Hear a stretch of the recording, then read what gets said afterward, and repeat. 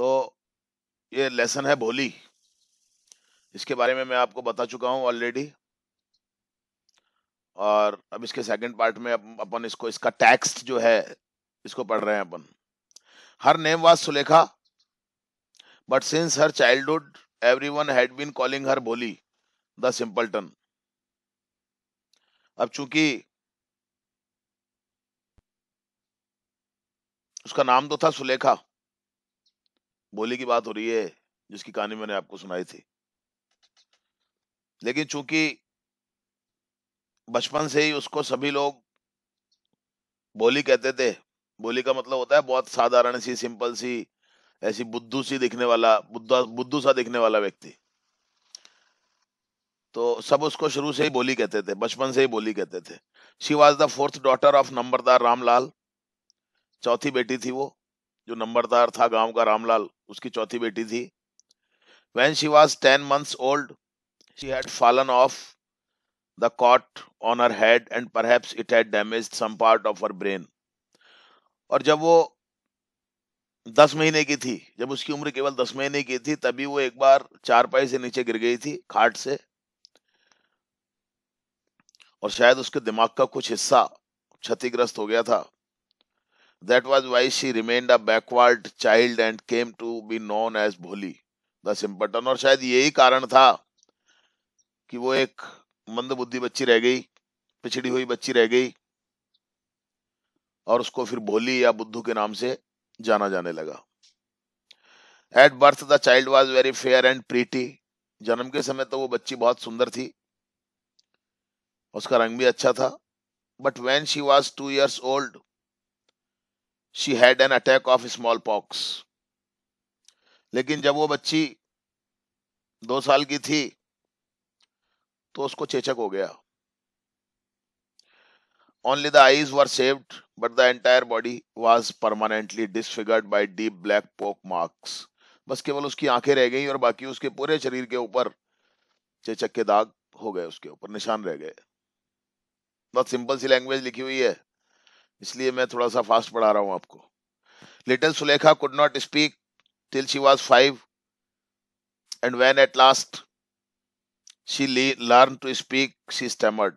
और वो छोटी सी जो सुलेखा थी वो पाँच साल की उम्र तक बोल नहीं पाई वैसे नॉर्मली बच्चा दो ढाई तीन साल की उम्र में बोलने लग जाता है लेकिन वो पाँच साल की उम्र होने तक भी वो बोल नहीं पाई थी बिकॉज़ उसके दिमाग में कुछ प्रॉब्लम हो गई थी जब वो गिर गई थी चारपाई से और जब वो आखिर में बोलना सीखी, यानी कि जब वो बोलने लगी तो शी स्टैमर्ड तो वो हकलाने लग गई।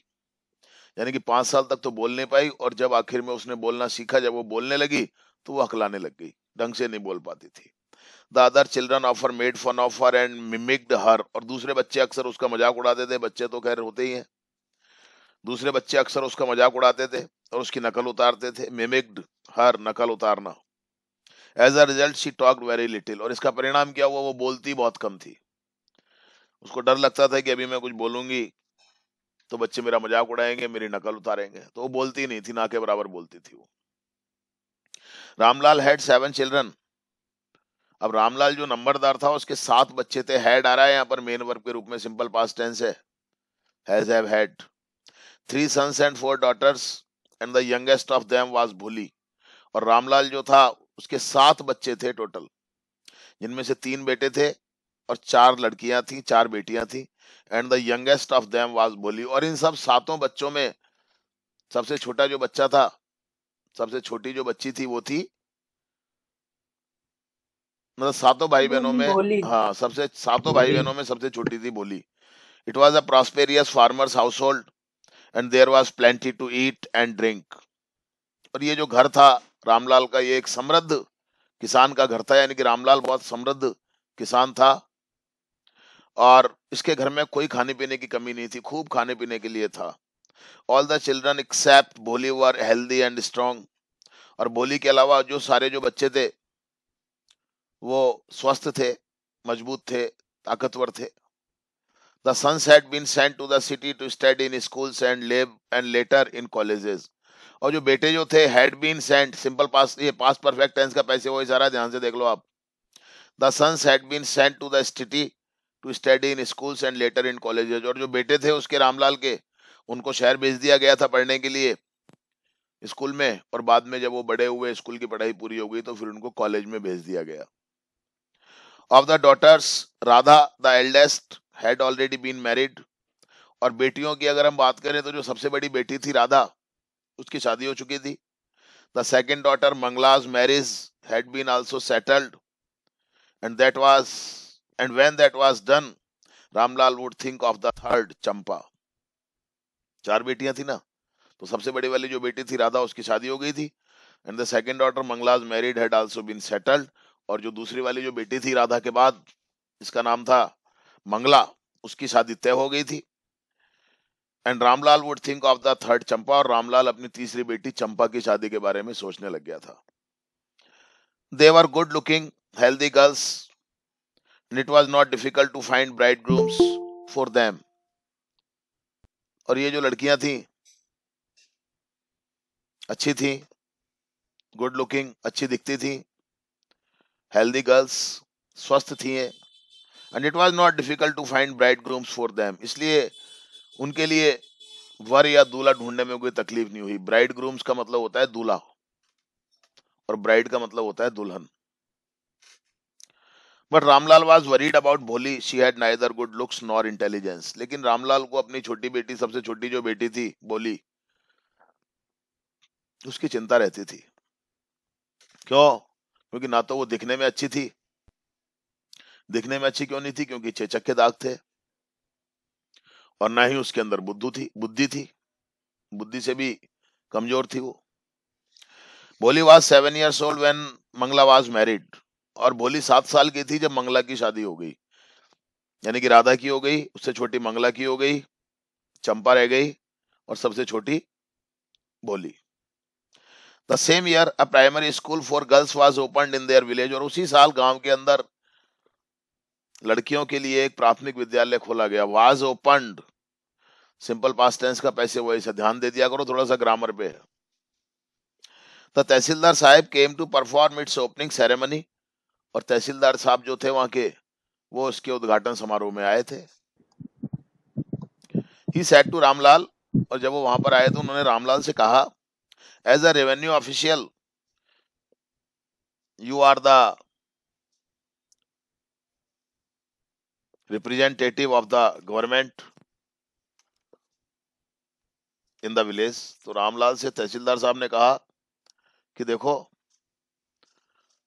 तुम एक राजस्व अधिकारी हो। राजस्व अधिकारी वो होता है जो रेवेन्यू ऑफिसर का मतलब जो टैक्स वगैरह कलेक्ट करने का काम करता है। उन्होंने कहा कि तुम सरकार के प्रतिनिधि हो गाँव के अंदर और तुम तो सरकार के आदमी हो, जिम्मेदार व्यक्ति हो। And so you must set an example for the villagers must यहाँ पर आ रहा है एक मॉडल के रूप में। यानी कि तुम्हारे लिए तो ये ज़रूरी है कि तुम अपना उदाहरण गाँव वालों के सामने प्रस्तुत करो। You must send your daughters to school तुम्हें अपनी बेटियों को स्कूल भेजना चाहिए। मस्त आ रहा है यहाँ पर एक मॉडल है ये, जो कि नेसेसिटी को शो करता है। बताया था मैंने आपको नाइन्थ क्लास के अंदर। बढ़ाए थे ना मॉडल्स आपको मैंने? तो मस्ट जो मॉडल होता है वो नेसेसिटी को शो करता है। यानी कि तहसीलदार साहब ये कहना चाह रहे हैं रामलाल से कि भाई देखो तुम तो गाँव के प्रतिनिधि हो। तुम ही अगर अपनी बेटियों को पढ़ने नहीं भेजोगे तो कौन भेजेगा? तो तुम तो कम से कम अपनी बेटियों को पढ़ने भेजो तुम्हें देख करके और लोग भी पढ़ने के लिए भेजेंगे अपनी बेटियों को।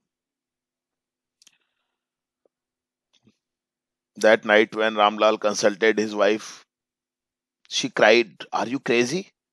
If girls go to school, who will marry them? और उस रात को जब रामलाल ने अपनी पत्नी से इस बारे में विचार विमर्श किया कंसल्टेड विचार विमर्श किया लिख लिया करो पेंसिल से आप मीनिंग और उस रात को जब रामलाल ने अपनी पत्नी से विचार विमर्श किया तो उसकी पत्नी ज़ोर से चिल्लाई उसने कहा पागल हो गया हो क्या? Are you crazy if girls go to school who will marry them अगर लड़कियों की, हम लड़कियों को अगर हम स्कूल भेजेंगे तो उनसे शादी कौन करेगा? मैंने आपको बताया था ना कि वो जमाना ऐसा था जब इस प्रकार की सोच थी। But Ramlal had not the courage to disobey the tehsildar. लेकिन रामलाल के अंदर इतनी हिम्मत नहीं थी। करेज का मतलब साहस, हिम्मत। लेकिन रामलाल के अंदर इतनी हिम्मत नहीं थी कि वो तहसीलदार का कहना ना माने, तहसीलदार की अवज्ञा कर दे। At last his wife said और अंत में उसकी पत्नी ने कहा I will tell you what to do उसकी पत्नी ने कहा, देखो, मैं तुम्हें बताती हूँ तुम्हें क्या करना है। सेंड भोली टू स्कूल तुम ऐसा करो भोली को स्कूल भेज दो। अब दो ही तो बेटी रह गई थी उसकी।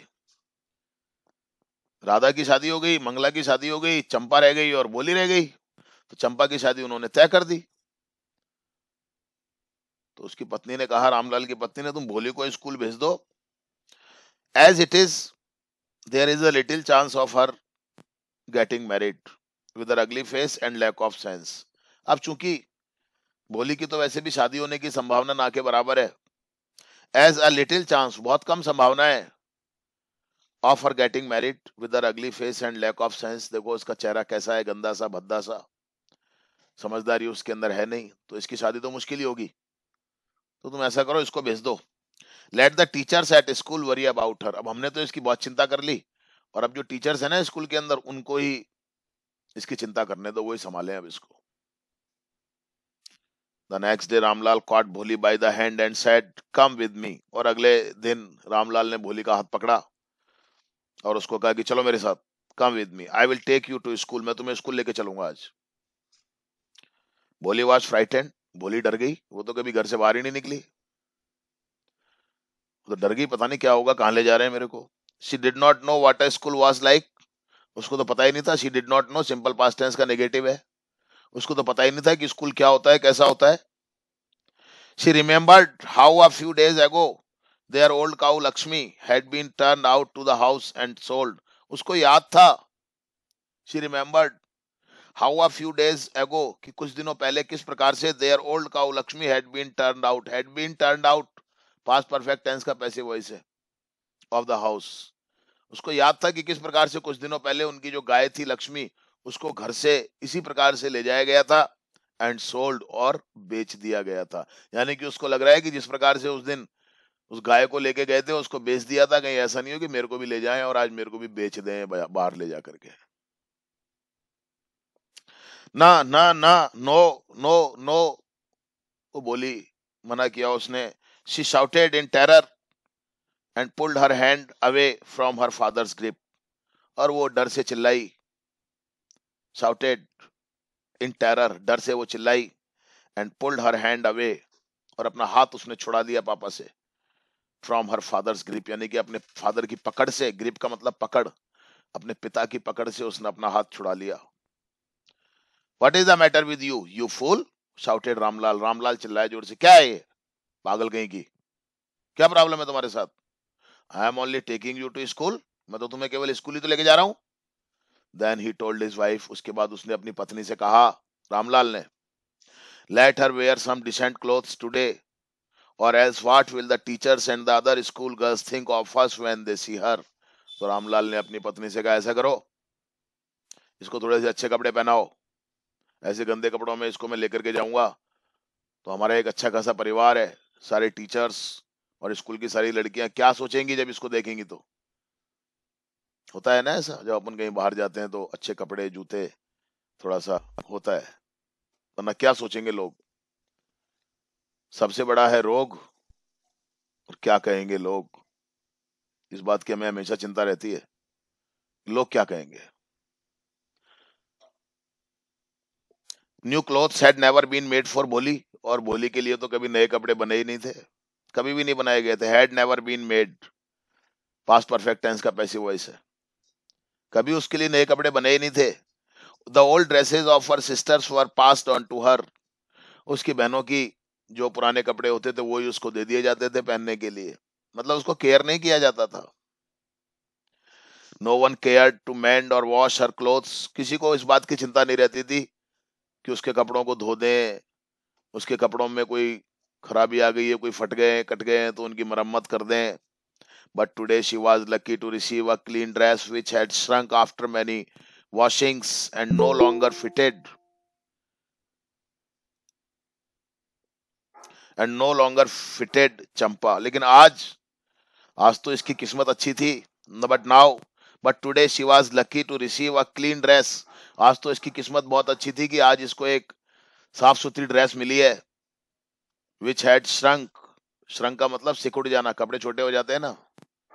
धोते धोते, धुलते धुलते धुलते धुलते कपड़े सिकुड़ जाते हैं। और ये जो कपड़े थे, आज जो ड्रेस इसको मिली है, कई धुलाइयों के बाद छोटी हो गई थी, सुकुड़ गई थी and no longer fitted Champa, और अब चंपा को भी ये कपड़े नहीं आते थे, यानी कि चंपा के छोटे हो गए थे। तो ये कपड़े आज इसको दे दिए गए, दिए अभी भी पुराने ही कपड़े गए हैं, पुराने ही कपड़े दिए हैं। Was even bathed and oil was rubbed into her dry and matted hair और आज तो पता है, उसको नहलाया गया। आज तो उसको नहलाया भी गया। पहले कभी उसको नहलाया नहीं जाता था। और उसके जो बाल थे, बिल्कुल सूखे हुए से, उलझे हुए से, उनमें अच्छे से तेल लगाया गया। आज तो उसको अच्छा मतलब नहला धुला करके अच्छे से तैयार किया जा रहा है। पहले नहीं किया जाता था। Only then did she begin to believe that she was being taken to a place better than her home और जब उसको नहलाया धुलाया गया, अच्छे कपड़े पहनाए गए, जब उसके बालों में तेल वेल लगाया गया, तब जा करके उसको ये भरोसा हुआ, ये विश्वास हुआ कि आज उसको घर से भी शायद किसी अच्छी जगह पर ले जाया जा रहा है।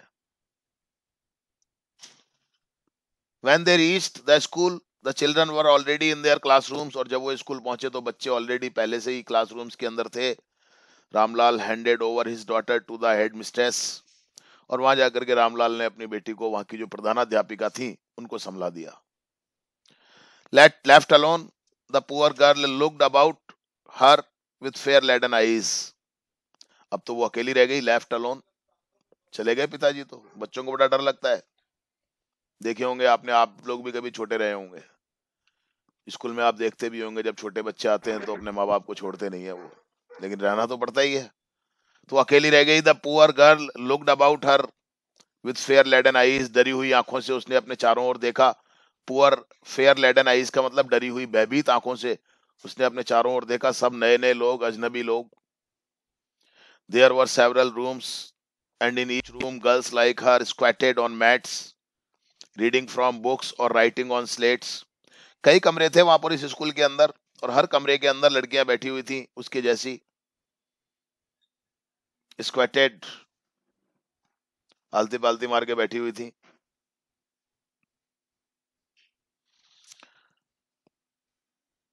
कुछ उकड़ू बैठी हुई थी मतलब बच्चियाँ बैठी हुई थी।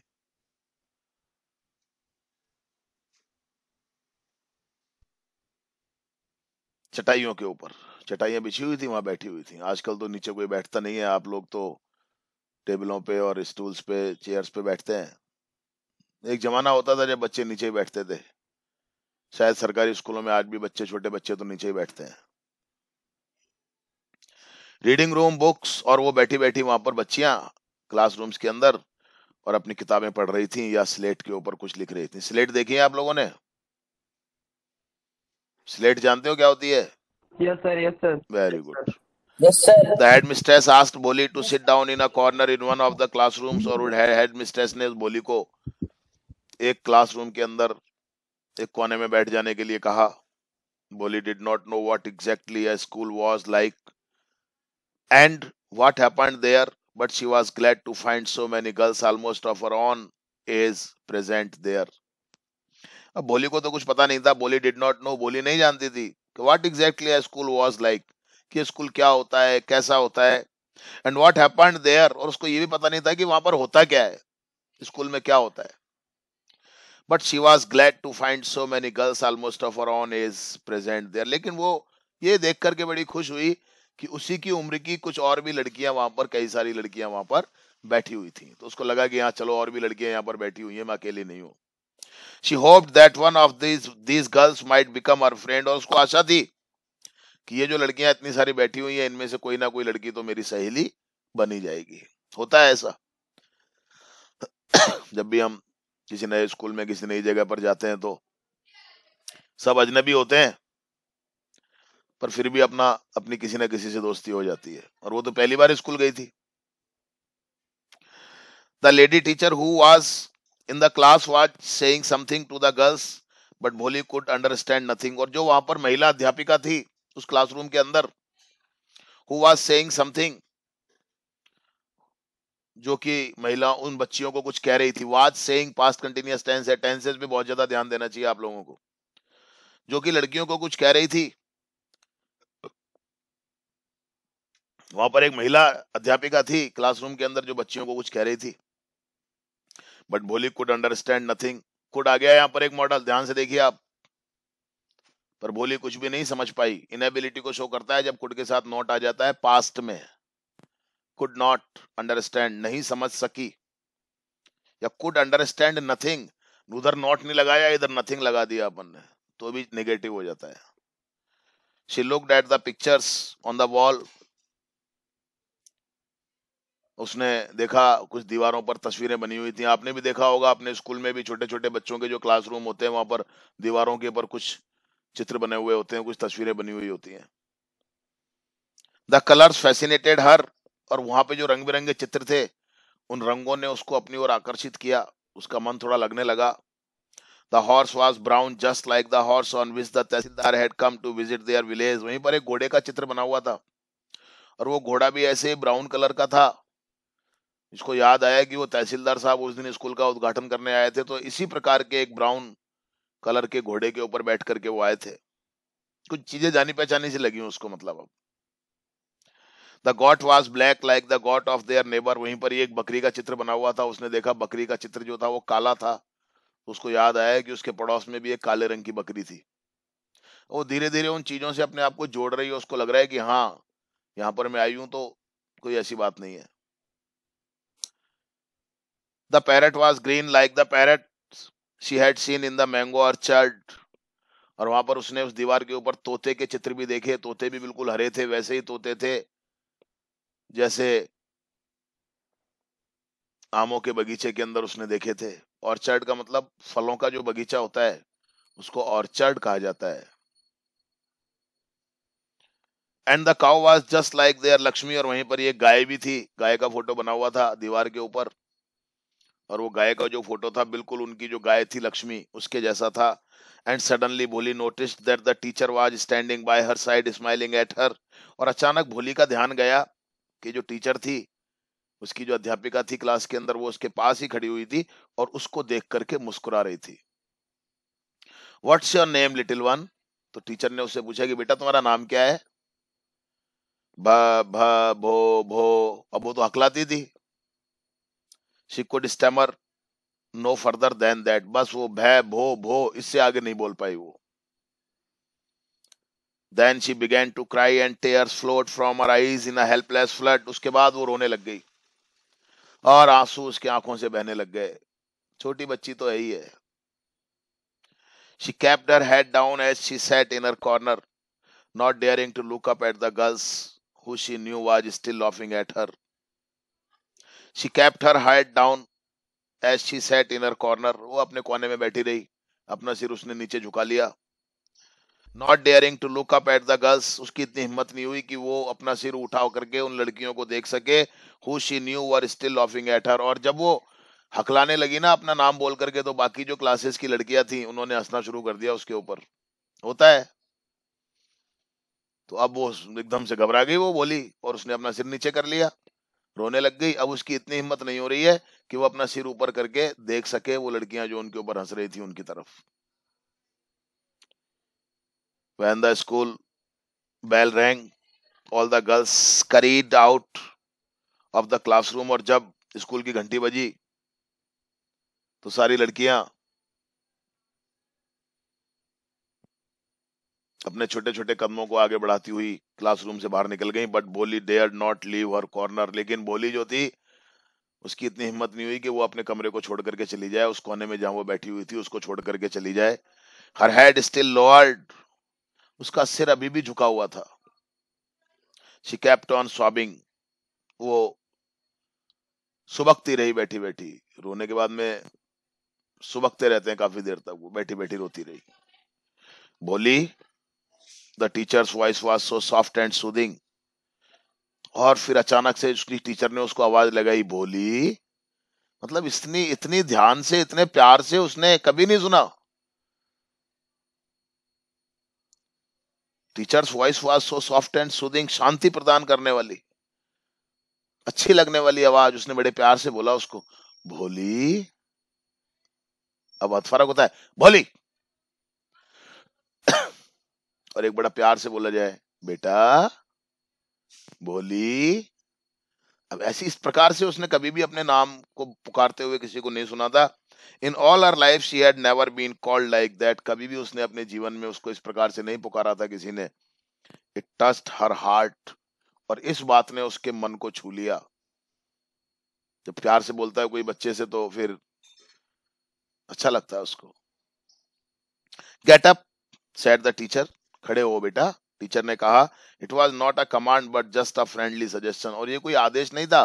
जैसे एक दोस्त बोलते हैं, वैसे बड़े प्यार से उसने कहा, बेटा, खड़े हो, आओ मेरे पास। भोली गॉट अप भोली खड़ी हो गई। Now tell me your name और फिर टीचर ने उसको कहा, अब तुम मुझे अपना नाम बताओ। क्या नाम है तुम्हारा? स्वेट पसीना। Broke out over her whole body और उस लड़की के पूरे शरीर में से पसीना निकलने लगा, डर के मारे। फिर वही नाम बताना पड़ेगा, फिर वो हकलाएगी। Would her stammering tongue again disgrace उसको लगा कि ये जो मेरी हकलाती हुई जबान है, क्या ये फिर से मेरा अपमान करवा देगी? क्या फिर से मेरी बेइज्जती करवा देगी? For the sake of this kind woman however she decided to make an effort लेकिन फिर भी उस दयालु महिला के लिए, यानी कि उस टीचर के लिए उसने सोचा कि नहीं, मैं कोशिश करूँगी। इतनी अच्छे से मैडम मेरे को बुला रही हैं, पूछ रही हैं तो मैं कोशिश करूँगी। ये नहीं हंसेंगी मेरे ऊपर। She had such a soothing voice she would not laugh at her और इन्होंने तो बहुत प्यार से बोला है। हम्म? इन्होंने तो इतने प्यार से बोला है। इनकी आवाज़ भी कितनी अच्छी है। शांति प्रदान करने वाली है। ये मेरा मज़ाक नहीं उड़ाएँगी। ये मेरे ऊपर हंसेंगी नहीं। और फिर उसने कहा, भ भ, भो भो। शी बिगैन टू स्टैमर फिर से वो अखलाने लगी। बोल नहीं पा रही है। भय भय भो भो। Well done well done the teacher encourage her और फिर उसकी टीचर ने उसको प्रोत्साहित किया एनकरेज प्रोत्साहित किया। शाबाश, बहुत अच्छा। Well done well done come on now the full name उसने कहा, शाबाश, बोलो बोलो। पूरा नाम बताओ अपना। टीचर ने इस प्रकार से जब उसको एनकरेज किया, उसको प्रोत्साहित किया तो भय भय भो, भोली। और फिर उसने अपना नाम बोल दिया। At last she was able to say it and felt relieved as if it was a great achievement. और आखिर में वो अपना नाम बोल पाई। और ऐसे उसको महसूस हुआ, जैसे कि उसका ये बहुत बड़ा अचीवमेंट हो। बहुत बड़ी उपलब्धि उसने की हो। Well done the teacher patted her affectionately and said और उसके बाद पैटेड का मतलब थपथपाना। टीचर ने उसको थपथपाया, उसके सिर को थपथपाया। बड़े प्यार से अफेक्शनेटली का मतलब बड़े प्यार से, और उसको कहा put the fear out of your heart and you will be able to speak like everyone else उसने कहा, बेटा put the fear out of your heart अपने मन से डर को निकाल दो। इंपीरेटिव सेंटेंस है पुट मेन वर्ब से शुरू हो रहा है. And you will be able to speak like everyone else और देखना, तुम भी सबकी तरह ही बोल पाओगी। यू विल बी एबल यहाँ एक एबिलिटी को शो कर रहा है। फ्यूचर में कोई मॉडल नहीं होता है।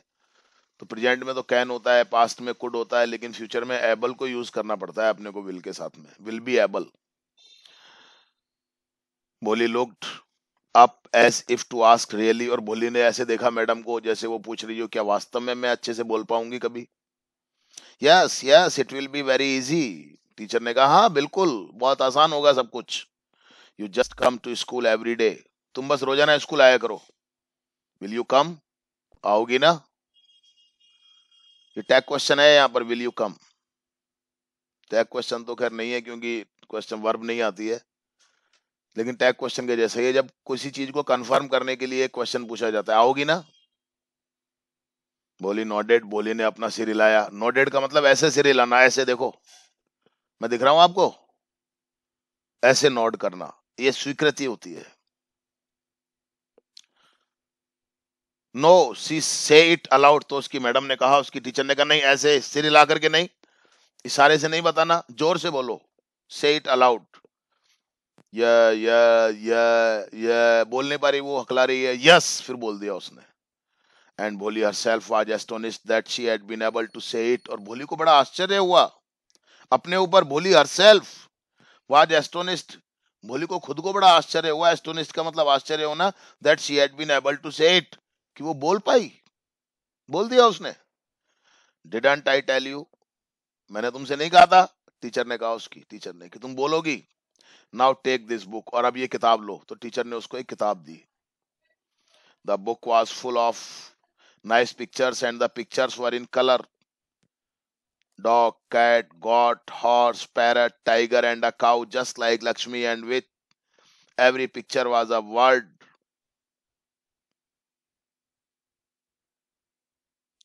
In big black letter.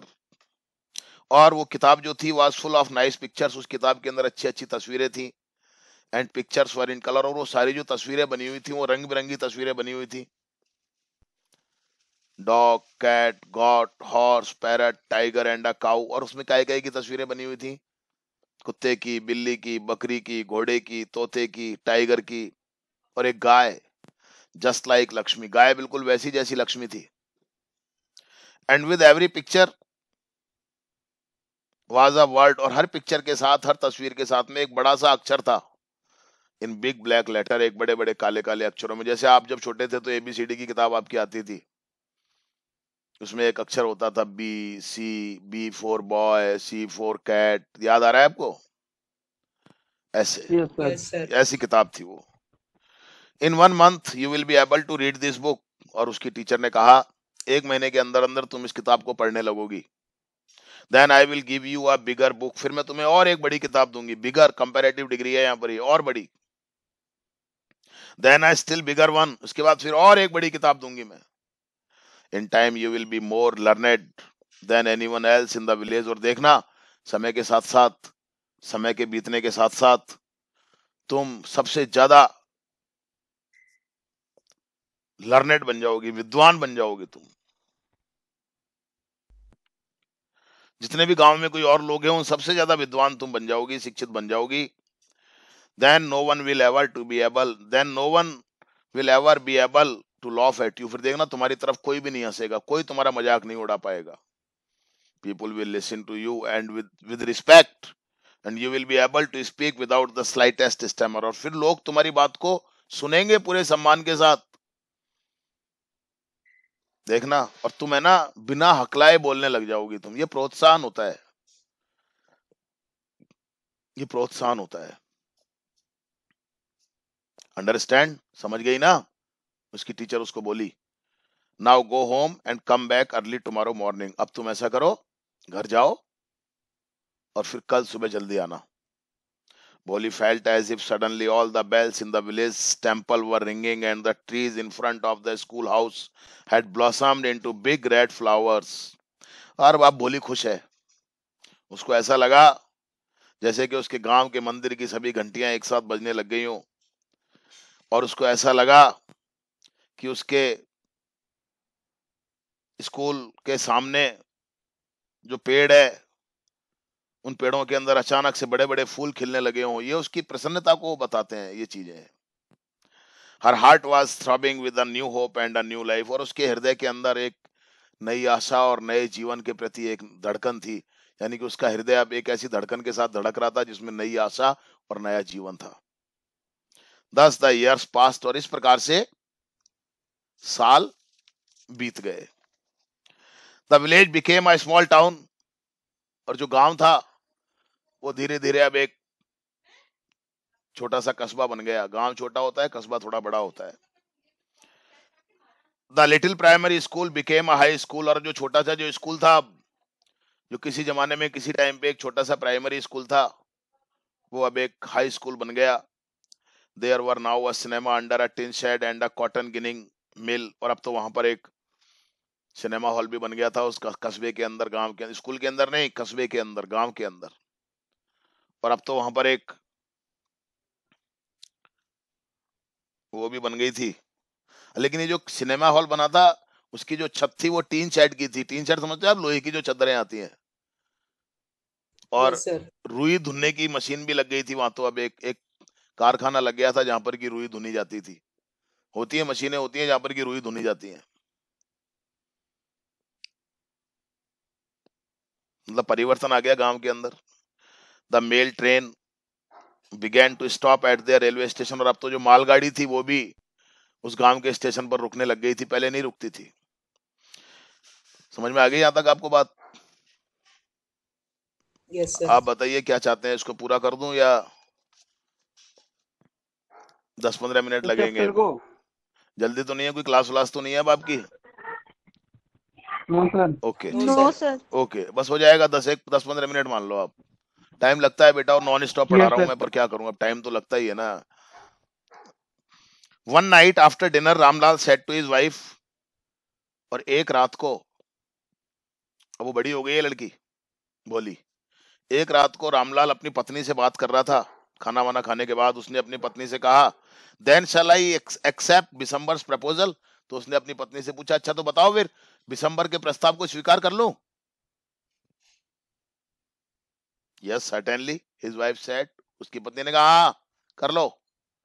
Bholi will be lucky to get such a well to do bridegroom ये तो बोली की किस्मत बहुत अच्छी है जो उसको इतना अच्छा दूल्हा मिल रहा है। A big shop a house of his own एक बड़ा एक बड़ा, उसकी एक इतनी बड़ी दुकान है, खुद का मकान है and I hear several thousands in the bank और मैंने तो ये भी सुना है कि कई हज़ार रुपए तो उसके बैंक में जमा है। Moreover he is not asking for any dowry और फिर इसके अलावा वो दहेज भी तो नहीं मांग रहा। डाउरी का मतलब होता है दहेज। और फिर वो दहेज भी तो नहीं मांग रहा। कर दो तुम तो। कोई दिक्कत नहीं है। समझ रहे हैं आप?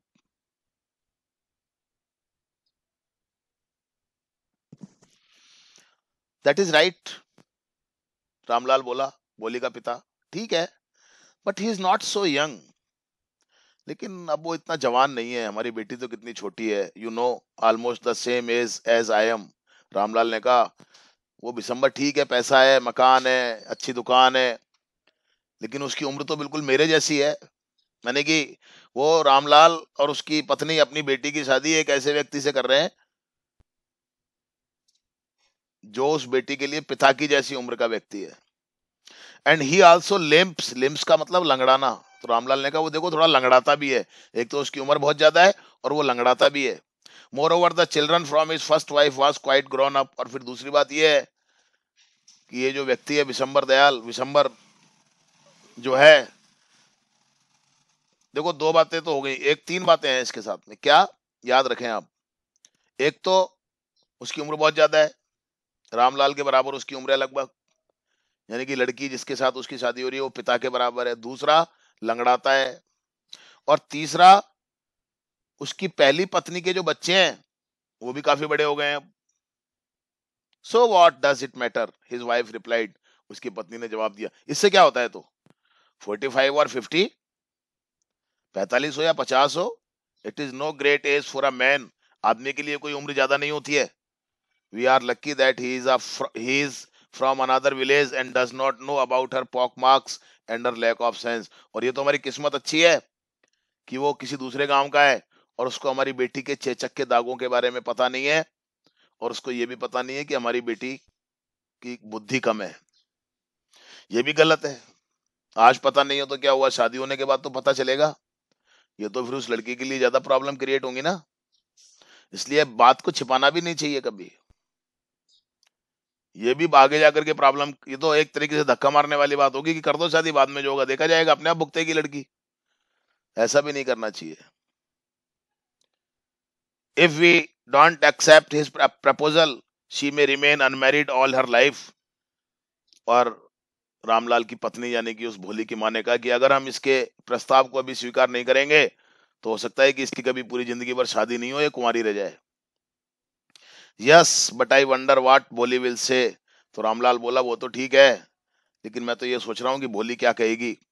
What will that witless one say वो बुद्धू लड़की क्या कहेगी? विटलेस का मतलब जिसके अंदर बुद्धि नहीं है। मूर्ख। विटलेस का मतलब मूर्ख ना समझ ये मूर्ख लड़की क्या कहेगी? ये कुछ समझती नहीं है। शी इज़ लाइक अ डम काउ वो तो एक गूँगी। गाय की तरह है वो कुछ नहीं बोलेगी। जब कुछ समझती नहीं है तो क्या बोलेगी वो? कैसे भी शादी कर दो कहीं भी कर दो। Maybe you are right muttered Ramlal Ramlal धीरे से बुदबुदाया और उसने कहा कि हाँ ठीक है तुम हो सकता है तुम सही कह रही हो। अब देखो आप माँ बाप भी किस प्रकार का बिहेवियर कर रहे हैं अपने बच्चे के साथ? गलत है। नॉर्मली होता नहीं है ऐसा पर ये कहानी है। कर, कर भी देते हैं ऐसा नहीं है कि होता ही नहीं है। कुछ लोग कर भी देते हैं ऐसा। In the other corner of the courtyard Bholi Bholi lay awake on her cot listening to her parents whispered conversation और घर के अंदर जो आँगन था, उस आँगन के एक कोने में भोली जो थी, वो एक चारपाई के ऊपर लेटी हुई थी और वो अपने माता पिता की इस पूरी बातचीत को आराम से सुन रही थी। सब कुछ सुनाई दे रहा था, उसको, उसके माँ बाप किस प्रकार की बातें कर रहे हैं, उसके बारे में। लेकिन कोई नहीं, मैंने आपको पहले भी कहा था, हमारे यहाँ संस्कार ऐसे होते हैं कि बच्चे बोलते नहीं है। Bishamber Nath was a well to do grocer grocer का मतलब पंसारी, किराने वाला। और बिशंबर नाथ जो था, वो एक अच्छा खासा व्यापारी, एक पंसारी था। He came with big party of friends and relations with him for the wedding और वो जब शादी हुई, शादी का दिन आ गया तो वो अच्छी खासी बारात लेकर के आया अपने दोस्तों की, रिश्तेदारों की शादी के लिए। A brass brand a brass band playing a popular tune from an Indian film the procession with the bridegroom riding a decorated horse और आपको तो पता ही है, जब निकासी निकलती है, बारात निकलती है तो बाजे बाजे बजते हैं, ऐसे बाजा बज रहा था। और इंडियन फ़िल्म जो है, भारतीय फ़िल्म की किसी गीत के ऊपर धुने बज रही थी वहाँ पर। देखी होंगी आपने, बारातों में खूब गए ही होंगे आप शादियों में। और दूल्हे के दूल्हा जो था, वो एक सजी हुई घोड़ी के ऊपर बैठा हुआ था। Ramlal was over joy to see such pomp and splendour और रामलाल इस शानो शौकत को देख करके, इस भव्यता को देख करके बड़ा खुश हुआ। उसने तो कभी सोचा भी नहीं था कि मेरी बेटी की ऐसे शादी होगी। He had never dreamed that his fourth daughter would have such a grand wedding उसने तो कभी सोचा भी नहीं था, सपना भी नहीं देखा था, सपने में भी नहीं सोचा था कि उसकी चौथी बेटी की इस प्रकार से इतनी शानो शौकत के साथ शादी होगी। Bholi's elder sisters who had come for the occasion were envious of her luck और भोली भोली की जो बहनें थी जो उसकी शादी के ऊपर आई हुई थी उनको भी बड़ी जलन हो रही थी बोली से कि देखो कैसी मूर्ख लड़की है ना शक्ल की ना सूरत की और शादी देखो कितनी बढ़िया हो रही है इसकी कितने अच्छे आदमी से शादी हो रही है। When the auspicious moment came, the priest said, "Bring the bride." और जब वो शुभ मौका आया तो पंडित ने कहा दुल्हन को लाओ भाई। भोली clad in a red silken bridal dress was led to the bride's place.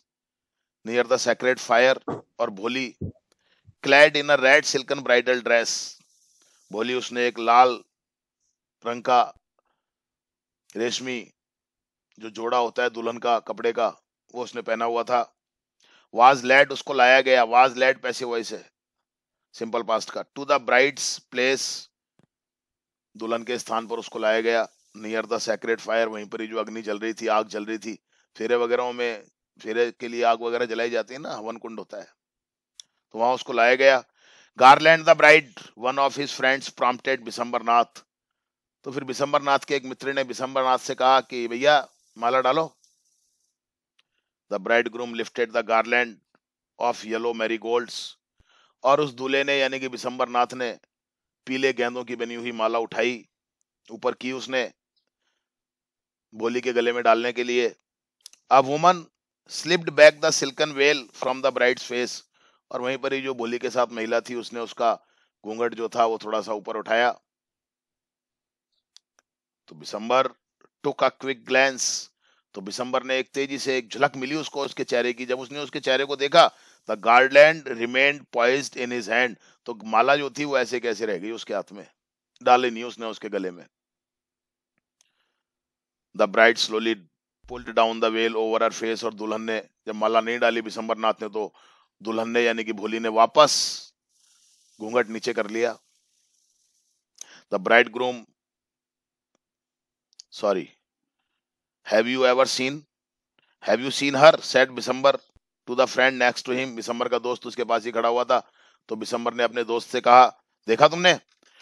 She has pock marks on her face उसके चेहरे के ऊपर तो चेचक के दाग so what you are not young either तो उसके मित्र ने कहा तो क्या हो गया? तुम भी तो इतने जवान नहीं हो, बुढ़े हो गए हो. Maybe but if I am to marry her her father must give me five thousand rupees तो बिशंबर नाथ ने कहा, नहीं नहीं, हो सकता है कि मेरी उम्र ज़्यादा हो गई हो, लेकिन अगर मैं इस लड़की के साथ शादी करूँगा तो तभी करूँगा जब इसके पिताजी मुझे पाँच हज़ार रुपए दे देंगे. सब समझाया था ना मैंने आपको पूरी कहानी में, इसके फ़र्स्ट पार्ट में। Ramlal went and place this turban his honour at Bisambar feet और रामलाल आगे आया और उसने अपनी पगड़ी पगड़ी एक प्रकार की इज़्ज़त होती है। वो पगड़ी उसने रामलाल के पैरों में रख दी और कहा डू नॉट हिमिलिएट मी सो हिमिलिएट का मतलब अपमानित करना। मुझे इतना अपमानित मत करो, मेरी इतनी बेइज्जती मत करो। टेक टू थाउज़ेंड रुपीज़ ऐसा करो, तुम दो हज़ार रुपए ले लो और मेरी बेटी से शादी कर लो।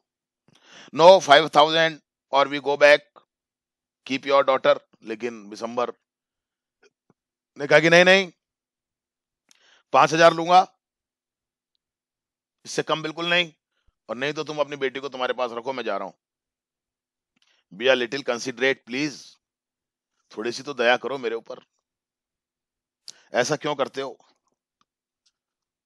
हम्म? ऐसा क्यों करते हो? थोड़ा सा तो सोचो मेरे बारे में, मेरी इज़्ज़त खराब हो जाएगी। If you go back I can never show my face in the village अगर तुम आज बिना शादी किए हुए चले गए तो मैं गाँव में किसी को अपनी शक्ल भी नहीं दिखा पाऊँगा। Then out with five thousand तो बिशंबर दयाल बोला बिशंबर नाथ बोला, ठीक है तो पाँच हज़ार रुपये निकालो। देखो कैसा बेशरम आदमी है। हम्म?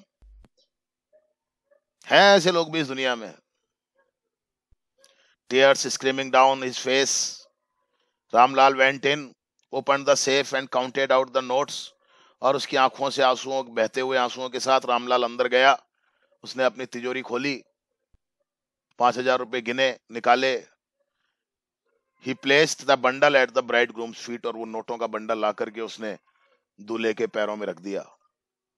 On Bisambar's greedy face appeared appeared triumphant smile और बिसम्बर के लालची चेहरे पर एक विजयी मुस्कान आई। ट्रियम्फेंट स्माइल का मतलब विजयी मुस्कान। यानी कि जैसे वो जीत गया हो अपने खेल में। ही हैड गैम्बल्ड गैम्बल्ड का मतलब जुआ खेलना। उसने तो एक जुआ खेला था, यानी कि उसने तो एक दांव लगाया था कि मिल जाए पाँच हज़ार तो ठीक है, नहीं मिले तो भी कोई बात नहीं है, शादी तो करनी है। एंड वॉन और उस जुए में वो जीत गया था। Give me the garland he announced और फिर उसने कहा कि लाओ। अब ये माला मुझे दे दो। अब मैं इस माले को, माला को डालूँगा इसके गले में। Once again the veil was slipped back from the bride face but this time her eyes were not downcast एक बार फिर से दुल्हन के चेहरे से घूंघट हटाया गया, लेकिन इस बार उस दुल्हन, यानी कि भोली की नज़रें नीची नहीं थी। पहले तो उसने नज़रें को नीचे झुका रखा था, यानी कि उसकी नज़रों में शर्म थी, लिहाज था, लेकिन अब ऐसा नहीं था। शिवाज लुकिंग अप अब वो बिल्कुल सामने देख रही थी। Looking straight at her prospective husband सीधी अपने उस संभावित पति को देख रही थी। प्रोस्पेक्टिव का मतलब संभावित, जिससे उसकी शादी होने वाली थी। And in her eyes there was neither anger nor hate only cold contempt और उसकी आँखों में ना तो क्रोध था, ना घृणा थी, केवल उसका तिरस्कार था। तिरस्कार का भाव था उसकी आँखों में एक ऐसे आदमी से मैं शादी करूँ, जिसने इस पूरे सभा के अंदर पूरी इतने लोगों के बीच में मेरे पिताजी का इतना बेज्जती की, मेरे पिता ने इसके पैरों में अपनी पगड़ी रख दी, लेकिन इस बेशरम इंसान को देखो तुम।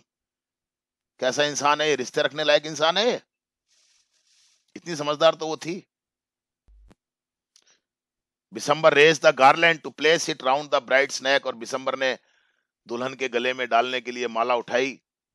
But before he could do so, लेकिन इससे पहले कि वो माला डाल पाता उसके गले में, उसकी गर्दन में Bholi's hand struck out with streak of lightning.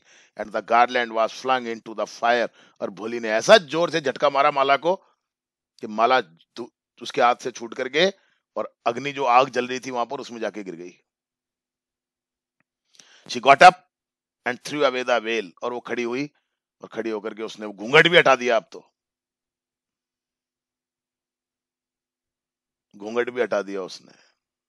कहते ना कि नारी जब, नारी शांत रहती है, जब तक शांत रहती है, उसके बाद वो दुर्गा बन जाती है, काली बन जाती है और पता नहीं क्या क्या बन जाती है, वो उसको गुस्सा आ जाए तो।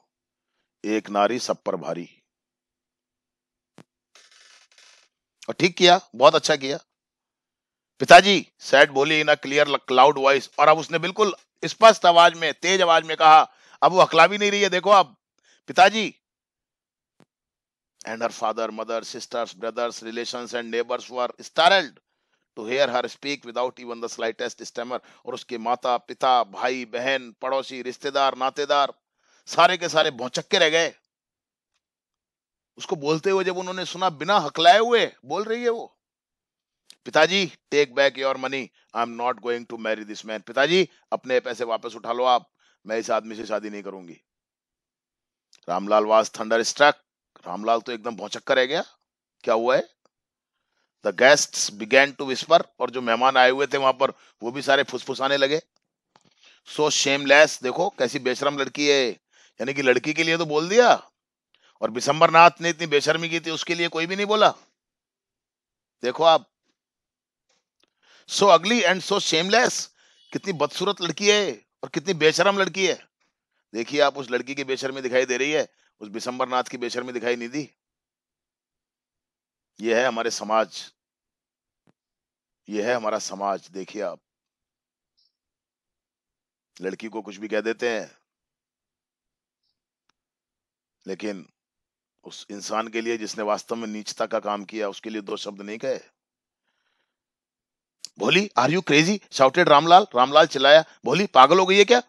You want to disgrace your family तुम अपने परिवार को अपमानित करना चाहती हो? Have some regard for our izzat? अरे कुछ हमारी इज़्ज़त का ख्याल है या नहीं है तुम्हें? For the sake of your izzat said Bholi. अब देखिए बोली की बात आप सुनिए। बोली ने कहा, pitaji for the sake of your izzat I was willing to marry this lame old man आपकी इज़्ज़त के लिए ही मैं इस लंगड़े और बूढ़े आदमी से शादी करने के लिए तैयार हो गई थी। But I will not have such a mean greedy and contemptible coward as my husband लेकिन मैं ऐसा मतलब ही लालची ऐसे आदमी को ऐसा घटिया मनोवृत्ति वाला व्यक्ति इसके साथ में शादी नहीं करूँगी। ये डरपोक व्यक्ति है, कायर कहीं का। I won't I won't I won't won't का मतलब विल नॉट मैं नहीं करूँगी नहीं करूँगी नहीं करूँगी। What a shameless girl we all thought she was a harmless dumb cow तो वहीं पर एक महिला खड़ी हुई थी, महिला ने कहा, देखो कैसी बेचरम लड़की है। हमने तो समझता, हमने तो हम तो समझते थे कि ये गूँगी गाय की तरह है, लेकिन ये तो बोल रही है। बोली turn voluntarily on the old woman और बोली, उस बूढ़ी महिला की तरफ़ गुस्से से घूमी और कहा yes aunty you are right हाँ आंटी, आप बिल्कुल सही कहती हो।